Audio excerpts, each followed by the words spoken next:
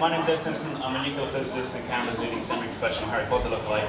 Um, so, one of the things I'm interested in is actually nuclear astrophysics. Now, that's a bit of a contradiction for for a field. It's simultaneously about nuclei. Um, they're, they're, all around us. Um, they're incomprehensibly small. Um, and stars, they're, they're all the way you know, up there, and they look really small. They're actually pretty big when you get up close.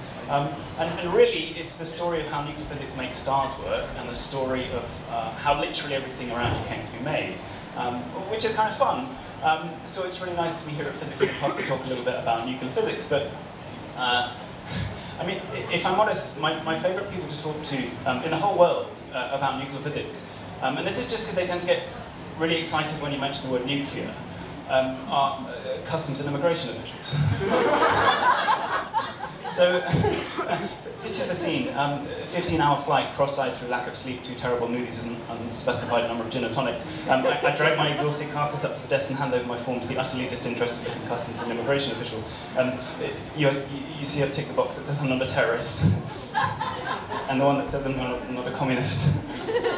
and just for reference, I don't know where the Nazi gold is buried. Um, the objective is this, try and get to the baggage carousel without mentioning the word nuclear. Um, even if you whisper, To a nuclear physics conference. they, they, they, tend to get a bit excited and ask awkward follow-up questions, um, like one I received on a recent trip to Seattle. Um, are you carrying any radiological materials? well, I'm a theorist.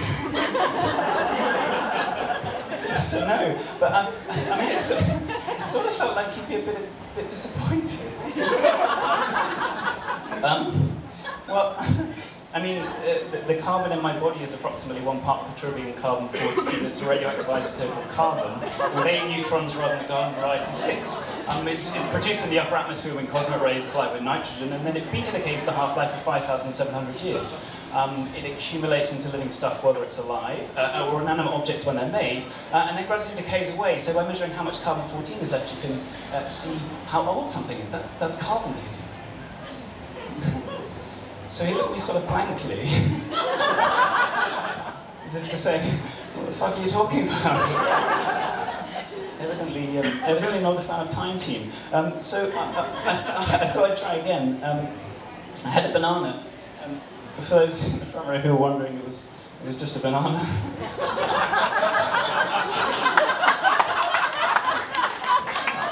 it's getting a bit soft, actually. famously a good source of potassium, approximately 1 part per 10,000, which is radioactive potassium 40. It's a beta emitter with a half-life of 1.2 billion years. Um, in fact, bananas are so famously radioactive, they named a unit of radiation dose after them. Banana dose equivalent. now, um, this somewhat whimsically expresses radiation dose uh, in terms of the equivalent number of bananas. So if you go for a chest x-ray, that's 200 bananas. um,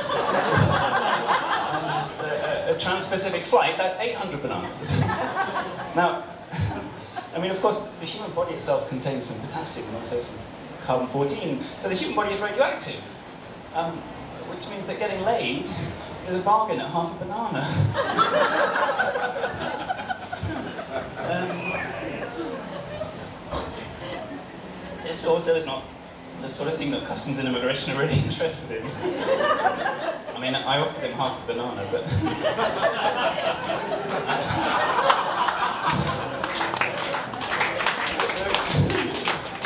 So I thought I'd have one last try. Um, uh, so cigarettes. Um, uh, cigarettes are known to contain trace amounts of polonium-210. Um, that's, that's an alpha emitter with a half-life of 140 days. Um, it's, uh, it's an artificial isotope. It needs to be produced, uh, for example, by bonding, bombarding bismuth-209 with neutrons at a nuclear reactor. Um, it was used uh, during the Cold War to keep Russian moon landers warm at night and was more recently used to assassinate former KGB agent and Russian dissident Alexander Litvinenko which is not really the sort of thing you're supposed to say to customs and immigration visitors. um, I, I didn't say any of that. Shamefully, shamefully, my response to the question, are you carrying any radiological materials, was, I'm just a theorist. um,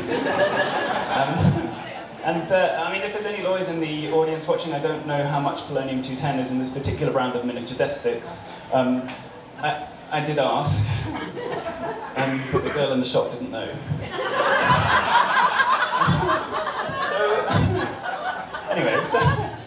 So, the conference I was going to, the conference I was going to was all about deciding how fast particular nuclear reactions occur um, in stars and in the sun. And the thing that's most astonishing about the nuclear reactions that power stars is the difference in scale between the nuclear reactions themselves and, and the sun.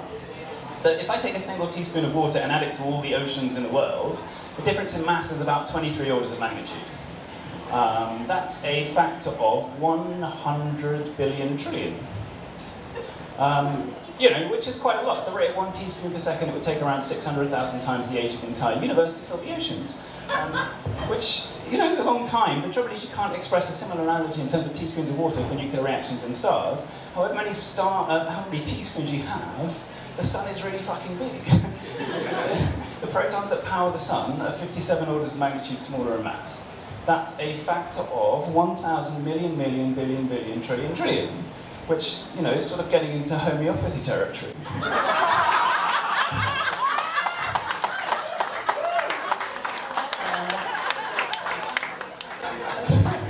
so, uh, at this point in the proceedings, a uh, brief synopsis of nuclear synthesis throughout the entire history of the universe is appropriate.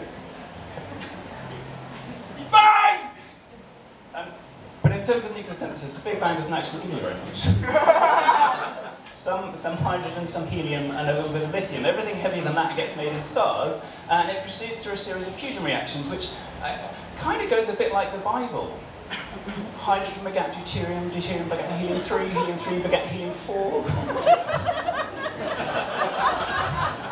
Somewhat controversially, helium-4 needs to then team up with two other helium-4s to begat carbon-12 into something of a cosmic menage a trois called the triple alpha process, which, as far as I'm aware, wasn't in the Bible. Um, but uh, this sequence of fusion reactions only gets you so far. You can only make up to mass iron by what we call main sequence burning in stars. Everything heavier than that gets made in cataclysmic astrophysical scenarios like neutron star collisions or supernovae.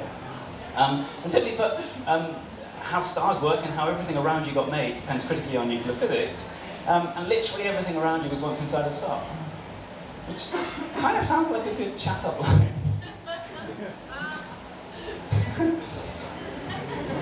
I, I can only apologise. Um, all the atoms in your body, they come from the stars, which, which is nice, it's beautiful, it's true. Um, some of them, some of them came from the Big Bang.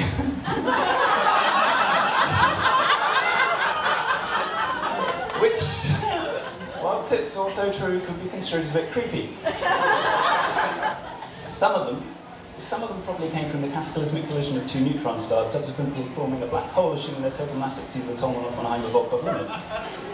Which doesn't really make sense as a chat-up line, um, particularly not unless you've had eight minutes to explain nuclear astrophysics, usually by which point it's too late. At that point you may as well just offer them half a banana.